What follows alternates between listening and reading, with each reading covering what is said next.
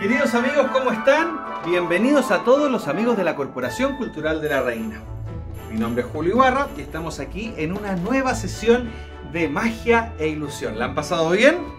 Yo sé que la han pasado súper bien y han estado muy participativos. De hecho, quiero agradecer todos los mensajes, todas las fotos que me han mandado donde han hecho magia. Estoy muy feliz porque he visto todos los avances que han tenido y eso me pone muy contento porque quiere decir que están siguiendo semana a semana estos videos que compartimos haciendo magia y disfrutando de lo mejor de la ilusión desde aquí, desde el teatro de aprendemagia.cl. Espero que estén felices y contentos con toda la magia que hemos visto porque hoy día tenemos más magia. De hecho aquí, dentro de mi maleta he traído algo, voy a buscarlo inmediatamente. Creo que está... No, ¿saben qué? No lo encontré.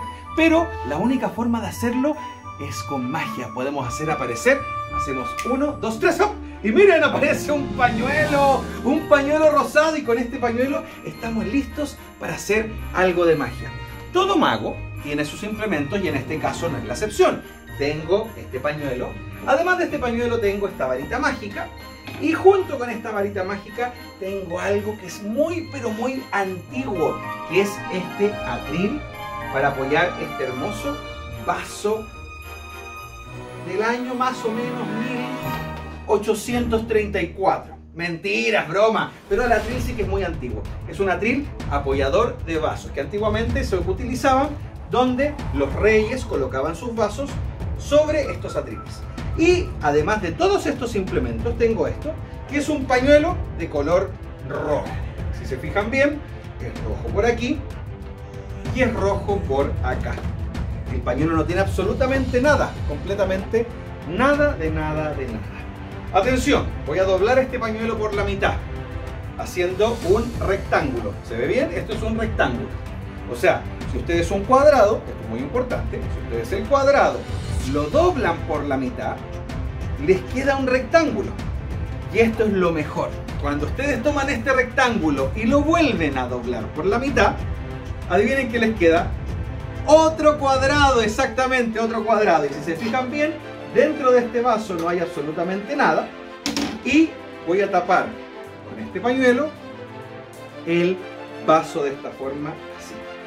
Cosa que es muy importante, no lo pierdan de vista por nada del mundo, siempre estén mirando el pañuelo que como tapa el vaso. ¿sí? Y adicionalmente a eso tengo este otro pañuelo que es de color rosado. Entonces vamos a hacer lo siguiente, me voy a concentrar Voy a mirar fijamente el pañuelo, voy a tomar mi varita mágica, voy a decir abra cadabra, patas de cabra, un, dos, tres, ¡hop! Y el pañuelo ha desaparecido completamente. Pero no me lo van a creer. El pañuelo realmente no desapareció. Está invisible aquí, en el aire. Completamente invisible aquí. Aquí miren. Lo voy a tomar con la punta de la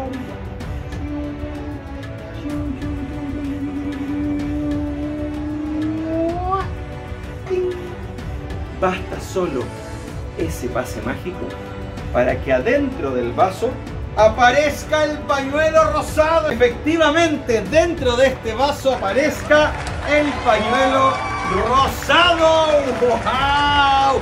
¡Qué tremendo! ¿Vieron eso? Un pañuelo se desmaterializa en el aire y aparece dentro de un vaso en un juego de magia realmente sorprendente. ¿Les gustó? ¿Sí? Sí, les gustó tanto como yo que disfruto compartiendo toda mi magia con todos ustedes. Bueno, queridos amigos, tenemos más magia preparada. ¿Están listos? ¿Sí? Sí, los estoy escuchando como están disfrutando ya, porque este juego se utiliza una baraja de naipes. Pero esta baraja de naipes que voy a dejar a la vista de todos sobre la mesa, no es una baraja de naipes normal. ¿Por qué? Porque esta baraja de naipes más que naipes, más que cartas, les voy a contar un secreto. No trae cartas. ¿Por qué digo que no trae cartas? Porque en efecto, esta baraja de naipes trae solo tarjetas. Tarjetas de color blanco. Blanco por aquí y blanco por acá. Completamente cartas y tarjetas blancas. Estas cartas o tarjetas blancas, como se puede ver muy claramente sobre la mesa, son las cartas antes que se impriman. Antes que los magos imprimamos nuestras cartas, las tarjetas llegan así, llegan en cartas blancas. Y son blancas por ambos lados. Lo importante es que con estas tarjetas blancas nosotros podemos hacer algo de magia. Miren, basta que dé un pase mágico así y no, no pasa nada. Doy un pase mágico así y no pasa nada. Un pase, ah, claro, si no doy el pase mágico, pero ustedes que están en su casa no me ayudan, no va a funcionar. Quiero que todos se coloquen los deditos así, en la C. Y mándenme toda su energía. Toda la energía que puedan, toda la energía, toda la energía. Manden, manden energía, todos los deditos acá en la 100. Manden energía, energía, energía, ¿sí? Eso, toda la energía. Todavía no pasa nada, miren, está todo blanco. Todavía no pasa nada, tiene que ser más energía. Ahí está, un, dos, tres. Ahí sí. ¡Epa! ¿Vieron? ¿Vieron cómo apareció una carta? Pero manden más energía, más energía, más energía. Más energía, toda la que puedan, toda la que puedan. Miren. Aparece un dorso. ¡Wow! Pero necesito ahora sí que manden la mayor cantidad de energía que puedan. Toda, toda, toda. Toda, toda, toda la energía, toda la energía, toda la energía, toda la energía. ¡Eso! Porque si mandan tanta energía, acérquense que esto los va a sorprender. La baraja completa aparece y ahora estamos en condiciones de hacer algo de magia con estas cartas. Miren, para hacer magia lo que hay que hacer es muy simple. Voy pasando cartas de esta forma y me voy a detener en algún lugar. Por ejemplo, eh, ahí, en esa carta. 6 de trébol. El 6 de trébol lo voy a correr un poquito para adelante para que ustedes lo vean siempre hasta el final. ¿sí? No lo pierdan de vista. Yo siempre guardo por si acaso una carta de color blanco. Siempre, siempre. Entonces les voy a pedir a todos ustedes en su casa que se concentren en el 6 de trébol y se olviden de todas las cartas. Solo concéntrense en el 6 de trébol, ¿sí? Olvídense de todas las cartas y mándenme toda su energía, ¿sí? Toda su energía a la cuenta de 3. Miren, 1, 2, 3.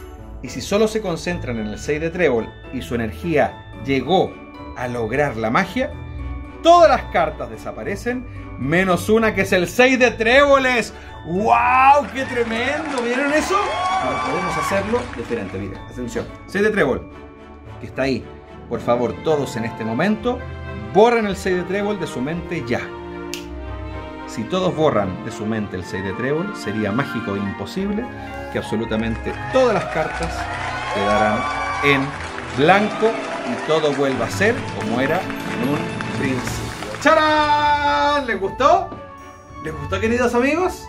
¿Sí? ¡Qué bueno! ¡Qué alegría poder, por supuesto, compartir toda mi magia con todos ustedes! Pero aún queda más. Aún queda más porque recuerdan que siempre yo les digo que aquí en Aprende Magia todo puede pasar. Hoy día vamos a aprender un nuevo juego de magia con todos ustedes que me están acompañando en esta nueva edición de lo que hacemos con ustedes, de compartir, de, de, aprender magia. Y vamos a aprender un gran juego de magia para que ustedes ya puedan tomar acción y hacer este juego de magia en su casa. Miren, aquí tengo un lápiz de color negro, totalmente normal, sin nada extraño. ¿Sí? Voy a mirar el lápiz y me voy a concentrar. Es importante, miren, es un lápiz sólido, sólido, sólido. O oh, miren, pueden tocar música. Como suena de bien, ¿no? ¿Se fijaron? Completamente sólido este lápiz. Pero miren, me concentro, lo miro fijamente, le doy un pase mágico y ya está. El lápiz que era sólido, miren.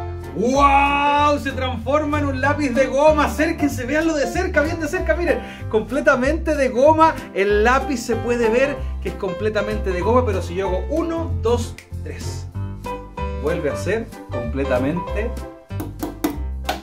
sólido. ¿Les gustó? Qué gran efecto mágico. Y este juego lo vamos a aprender en este mismo instante. Y los materiales como acaban de ver es un lápiz así de simple. Un solo lápiz que tengo aquí. Este juego lo pueden hacer con cualquier lápiz que tengan en su casa. La gracia de este efecto que es una ilusión óptica se compone de varias cosas que son súper importantes saberlas. Lo importante, lo primero que es muy importante, es mostrar que el lápiz es sólido. Eso es clave. Que la gente pueda revisarlo, pueda tocarlo. Si ustedes estuvieran acá, les daría examinar el lápiz. Y lo otro que es clave para hacer este juego es la técnica para mostrar que el lápiz es de goma. ¿Sí? Es muy simple esta técnica, se las voy a mostrar claramente. Miren. Lo que tienen que hacer es tomar con el dedo índice y pulgar el lápiz desde más o menos un cuarto del lápiz completo. Dividen el lápiz en cuatro mentalmente y lo toman desde el primer cuarto más o menos. Luego de eso tienen que hacer dos movimientos. Un movimiento es con la mano completa, tienen que ir de arriba para abajo. Y al mismo tiempo que hacen este movimiento con la mano completa de arriba para abajo, mueven el lápiz así, con estos dos deditos así. Y la gran gracia que tiene este juego es que si ustedes mueven el lápiz así y a este movimiento así, ustedes le agregan el movimiento de la muñeca y hacen los dos movimientos en simultáneo, se hacen así, da la sensación de que el lápiz es de goma. Si se fijan, es moviendo los deditos de adentro y moviendo la muñeca de arriba para abajo. En verdad, es una ilusión óptica porque el lápiz se mueve y da la sensación de que es de goma al centro, pero en verdad el lápiz es completamente recto. Pero si hacen los dos movimientos en simultáneo, lo que van a lograr que el lápiz se vea de goma. ¿Sí? ¿Lo entendieron? Recuerden que todos los secretos mágicos que nosotros aprendemos en estos videos que estamos haciendo tienen que practicarlos, practicarlos y practicarlos. Para hacer este juego lo único que necesitan es un lápiz, mucha práctica y atreverse. Aquí es clave que tengan todo el ánimo y toda la energía para presentarle este juego de magia a sus familiares y amigos. Queridos amigos, espero que les haya gustado este nuevo secreto mágico que hemos aprendido aquí en el teatro de aprendemagia.cl y les mando un cordial saludo. Un abrazo grande, practiquen, ensayen, revisen los videos que ya hemos subido, si les gustó comenten, coloquen me gusta, mándenme videos de ustedes haciendo los juegos de magia que eso lo voy a agradecer mucho y espero de todo corazón que les haya gustado esta nueva magia que hemos aprendido el día de hoy. Me despido desde aquí, desde el teatro de aprendemagia.cl y mi nombre es, recuerden, Julio Ibarra. Nos vemos. Chao, chao.